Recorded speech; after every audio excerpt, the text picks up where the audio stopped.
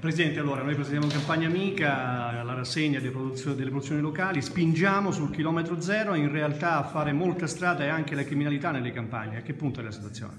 È il punto in cui eravamo, un punto drammatico dove abbiamo tutti i tipi di attività predatoria e non solo e non c'è una soluzione. Io credo che il territorio vada presidiato in maniera capillare, altrimenti non ne usciamo fuori.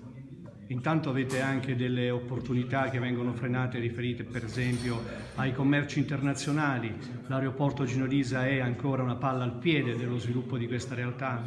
L'aeroporto Gino Lisa è ancora una palla al piede come in tutti i territori, un territorio vastissimo che non è servito da voli regolari, faccia un po' lei sicuramente credo che si capisca quanto possa essere deprimente per il territorio, sia sotto il profilo dell'agricoltura ma anche sotto quello turistico. Ma al di là delle alimentazioni, un concerto di intenzioni istituzionali che dia una eh, svolta. Noi abbiamo anche tra l'altro due assessori regionali che sono foggiani, abbiamo uno anzi alle politiche agricole e poi anche quello al bilancio, insomma due assessorati chiave. Beh, io penso che ci voglia uno sforzo corale di, dell'intero territorio e dell'intera politica, non solo quello degli assessori, ma anche di tutti i territori provinciali, comunali che facciano una voce unica nel coro. Arriverà questa voce unica? Ma secondo me sì.